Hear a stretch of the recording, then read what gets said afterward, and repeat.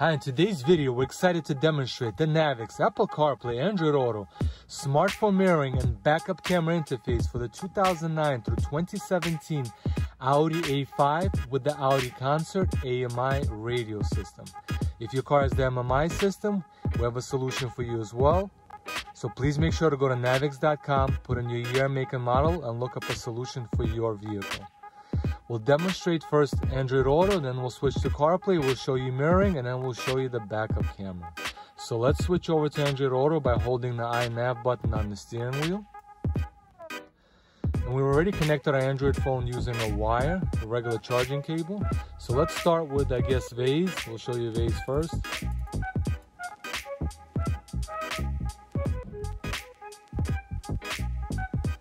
Right, let's change the view. And as you see, we're using all factory buttons, no external switches, no external microphones. All right, let's go to Google Maps. We'll just quickly show you a few of the apps and then we'll switch to CarPlay just because there's a lot of functions to show. So we'll go through this quickly. Let's do the same thing, change the view.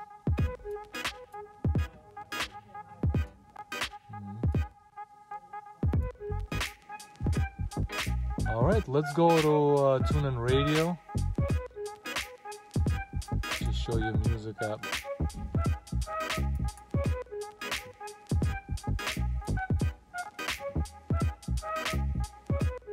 All right, local radio station. Listen. There we go. So now we'll now we'll switch phones. We're gonna switch to CarPlay. So we're doing it wired, but it can be done wirelessly and wired for the CarPlay.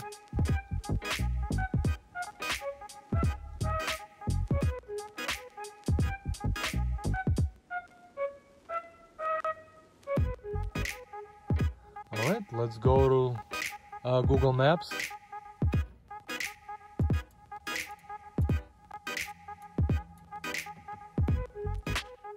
All right, let's change the view here as well.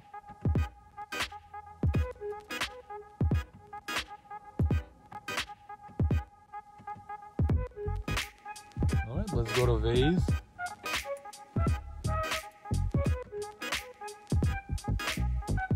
Let's zoom in here.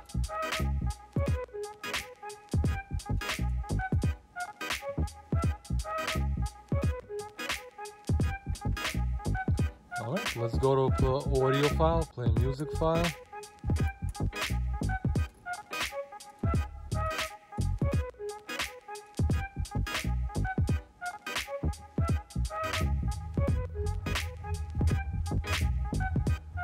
All right, that's CarPlay for you. Uh, now we'll show you the mirroring function.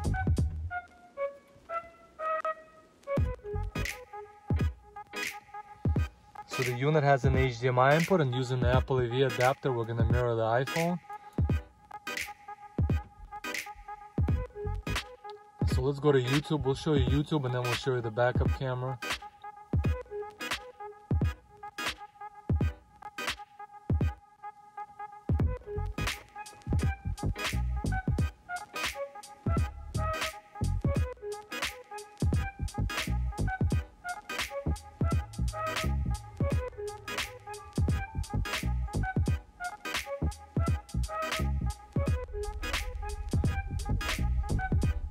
Alright, let's try another YouTube video.